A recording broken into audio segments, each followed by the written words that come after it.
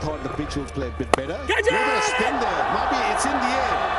Will that be caught? Yes, caught! Second wicket here. Willey taking the catch.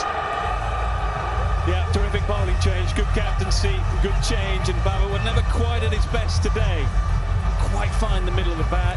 Just feel that he's thinking that just a little bit behind now, Karachi, and then just a little bit of uneven pace bounce. There's a lot of cracks. You can see new there. He knew there he hadn't quite got it. He just held in the pitch, and a good catch. Well, I was expecting the pitch to play a little bit better than that. Uh, I thought the weather is cooler.